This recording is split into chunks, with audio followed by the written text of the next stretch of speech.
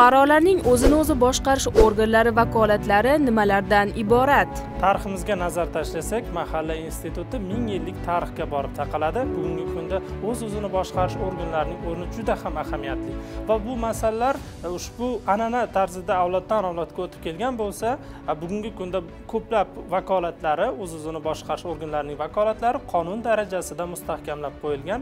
ikki ming o'n uchinchi yil yigirma ikkinchi aprel yangi tahrirda qabul qilingan o'z o'zini boshqarish organlari to'g'risidagi qonunda o'z o'zini boshqarish organlarining bir qator vakolatlari berib o'tilgan. Bunda fuqarolarni yig'ini fuqarolar yig'ini kengashi fuqarolar yig'ini raisi ya'ni oqsoqolning vakolatlari alohida tarzda har biri bo'yicha alohida bandlarda ko'rsatilgan va ushbu vakolatlarni uchta qismga ajratishimiz mumkin.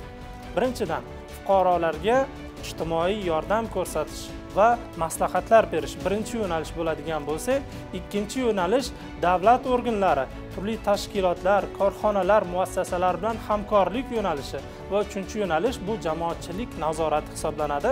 Mana bugungi kunda mahalla e, o'sha instituti o'z o'zini boshqarish organlariga fuqarolarimizni ijtimoiy qo'llab quvvatlash ularni tadbirkorlik faoliyatini rivojlantirishga ko'maklashish ularning bandligini ta'minlash hunarmandchilik kasanachilikni rivojlantirish sohalarida juda ko'plab e, imkoniyatlar berilgan. Ular bu orqali davlat organlariga murojaat qilishi ular faoliyatida ishtirok etishi mumkin yoki oila institutini mustahkamlash ayollar xotin qizlar huquqlarini bolalar huquqlarini ta'minlashda ham mahalla institutining juda ko'plab vakolatlari bor.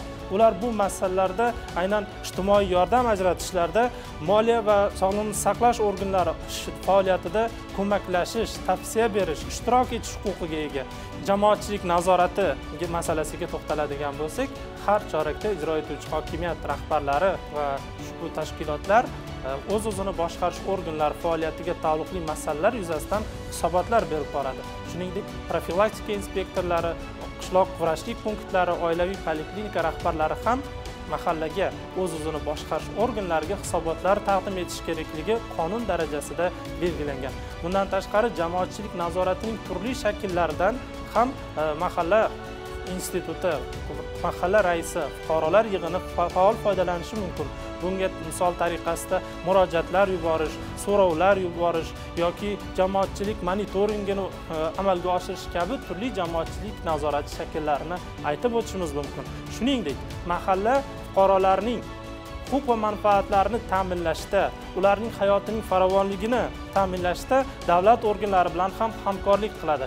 Jumladan mana kommunal xizmatlar sohasida hali to'lanmagan qarzlarni undirish yoki obodonlashtirish ko'kalamzorlashtirish kabi masalalarda yoki atrof muhitni himoya qilish kabi masalalarda davlat organlariga murojaat qila oladi. Mahalla guzarlari bolalar maydonchalari kabi turli xil e, mahalla hududida joylashgan inshootlar maskanlarni obod qilishda davlat organlarini yoki homiylarni jalb etish vakolati ham qonunda aynan ularga taqdim etilgan.